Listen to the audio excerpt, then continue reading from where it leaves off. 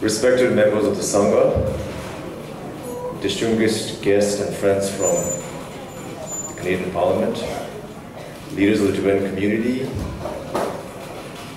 the president and members of the Tibetan Canadian Cultural Center, and dear friends, brothers and sisters. On behalf of the Office of Tibet, I want to thank you from the bottom of my heart for this invitation. It's good to be here on my first official visit to Toronto.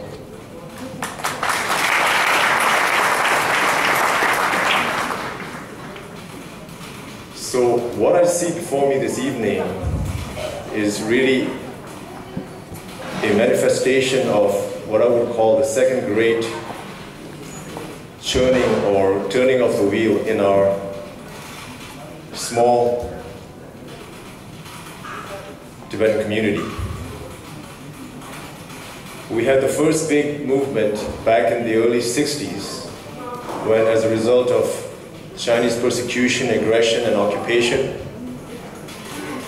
more than 80,000 Tibetans fled to freedom and lived in exile in India and Nepal. And because of His Holiness the Dalai Lama's leadership and guidance, Tibetans were able to establish settlements across Indian subcontinent. And because of the generosity of the Indian government as a host, they let us stay there, and we're still there as a community. We were able to build schools, rebuild some of the monasteries and cultural institutions that were destroyed by the Chinese. And it's now a refugee community that's has been in India and Nepal for over 50 years. But over the last 10 years or so, we're seeing a second great turning of the wheel where we're witnessing a major demographic transition with many of our community members deciding to emigrate to the West, especially to North America, to Europe and Australia.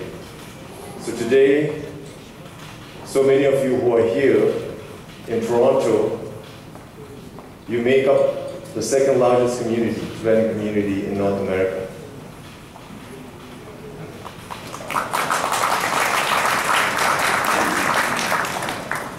So if present trends continue, it is the view of the current Kashak, the current leadership in Dharamsala, that it's just a matter of time before the number of Tibetans who live in the West will either equal or exceed the number of Tibetans in India and Nepal. So this very large demographic shift presents both challenges and opportunities for us. And the Tibetan leadership is very aware of this. And we're looking at ways of how we can both respond and, and take advantage of this, uh, this development. So in the nine months that I have served as a representative of His Holiness to the Americas. One of the issues that I've been putting a fair amount of my time and thought into is how can we structure a new kind of relationship between the Central Tibet Administration and the Office of Tibet and with the growing diaspora community here in Canada, in the US, and elsewhere.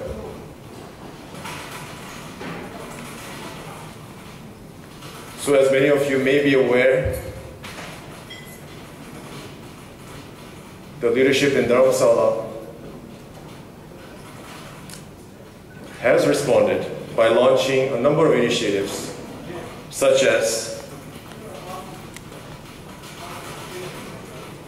through the Department of Home, we have the Sister Shijak, where we're encouraging Tibetan communities in the West to embrace and adopt one of the settlements, one or more of the settlements in India and Nepal. So I hope the leadership here in Toronto will consider that. The other program, which again I have shared with you in the past, is an opportunity for Tibetan students here, Tibetan professionals, and as well as members of the retired community here to re-engage with their community, to give back through a program called Tibet Corps. The Sikyong has himself mentioned in his last March 10th statement that Tibetans everywhere are welcome to come back to India, to serve in the CTA, to come to the settlements and contribute their skills, their talents, their resources. Because one of the key operating principles of the current Tibetan leadership is self-reliance.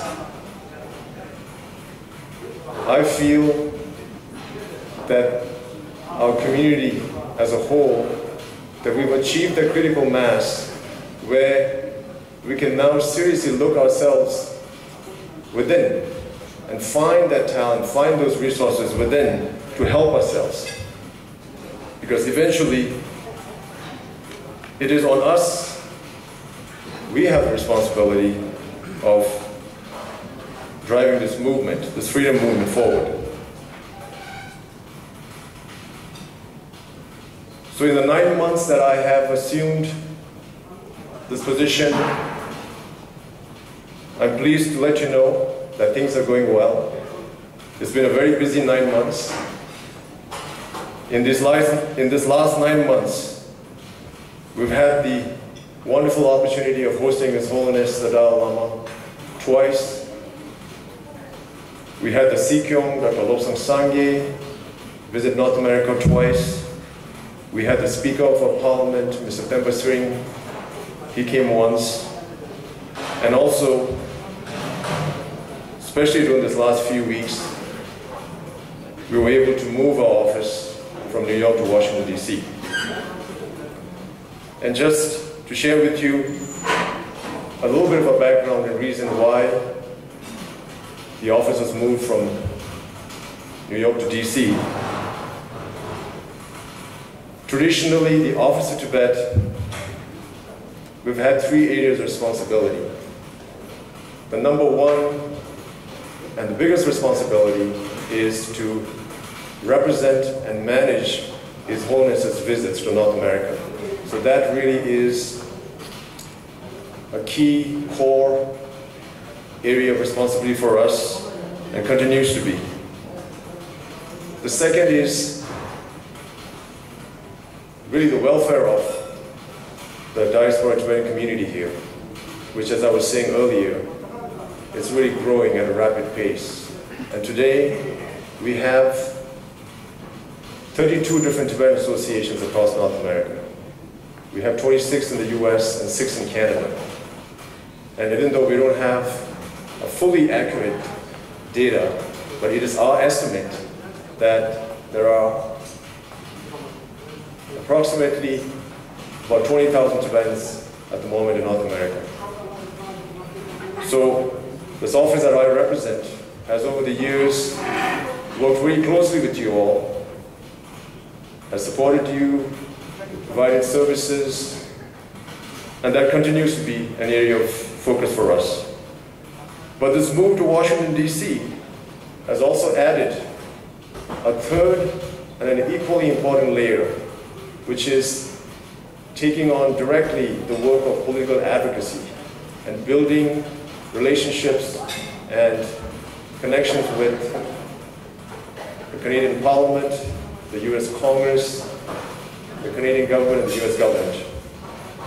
Because the current Kashak, the 14th Kashak, especially after His Holiness's historic decision in 2011 to devolve all political power to an elected leader. It is now the responsibility of the current Kashak to really take on this political role. So as a result, after thinking things through very carefully, the decision was made to move the office to Washington, D.C., and to enhance and to increase the political advocacy work, which, as you know, is really the most important work, because the reason why the Central Tibet Administration exists, its whole reason for being, is to come to a mutually agreeable solution on the Tibet issue, restore freedom, and, and make true a dream, which is to see His Holiness return to Tibet, as has been the aspiration of our brothers and sisters in Tibet.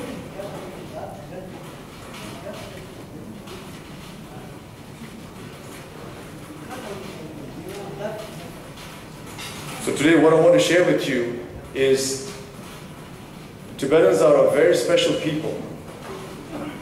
We are a chosen people because we have been given this very special responsibility. Two responsibilities, I'd say. The first one is to, to spread the Buddha Dharma teachings of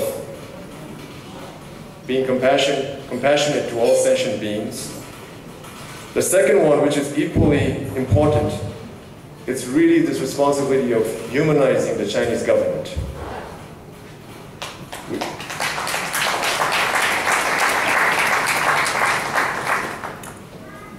We all want to see China becoming an important country in the international community. But at the same time,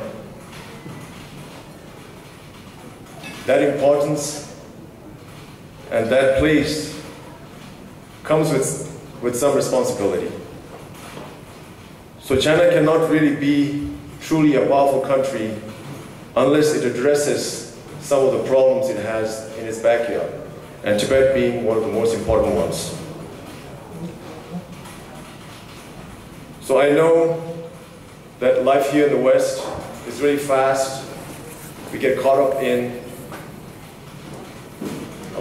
day-to-day things related to work, school, family life. But I would urge, especially all my brothers and sisters here, to not forget that we're here with a very special responsibility, which is to help realize the aspirations of the Tibetan people, which has been manifested in very sad and tragic ways, such as the current state of self-immolations. We all know that it is the aspirations of our people back in Tibet to see His Holiness safely return to Tibet and for Tibetans to have more freedom. So regardless of whatever work we do here, we really have to take on that responsibility in whatever way we can. So this is why an evening like this is really important because by coming here and showing your support for the Cultural Center, I think you're kind of demonstrating that you have the commitment. Because it is institutions like, the, like, like this, which is really the, the epicenter of community life, of efforts to preserve and protect our culture and language. So I want to thank all of you for coming here this evening and helping support the Cultural Center here. And lastly, even though our time here is limited this evening, I look forward to meeting all of you and more of you tomorrow morning when I'll have the opportunity to spend more time in the community. And I'd be happy to share more of some of the work we're doing in Washington, D.C., some of the developments in the Dharamsala and in Tibet, and take questions and, uh, and also hear from you in terms of your issues, your challenges, your concerns, your comments. So thank you again.